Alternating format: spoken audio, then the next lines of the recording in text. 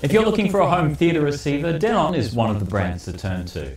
And its new AVR S910W doesn't disappoint when it comes to movie thrills. This is a 7 channel receiver which can also turn its hand to Dolby Atmos or DTSX, and it offers better movie replay than the equivalent Onkyo receiver. It has all of the features you'd want, like Bluetooth, Wi Fi, and Spotify Connect, plus, it has convenient input shortcuts on the front panel. However, it doesn't have the company's HEOS multi-room capability, but you can control it with the Denon smartphone app. Design-wise, it looks like a receiver, and it does come with a readable blue LED display.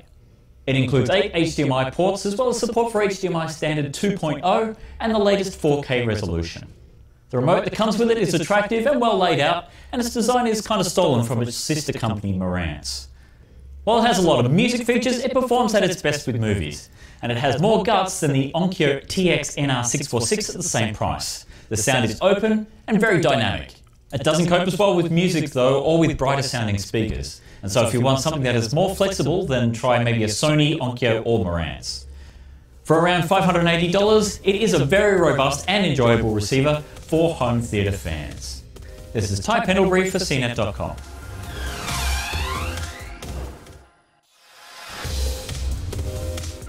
If you're looking for a home theatre receiver, Denon is one of the brands to turn to.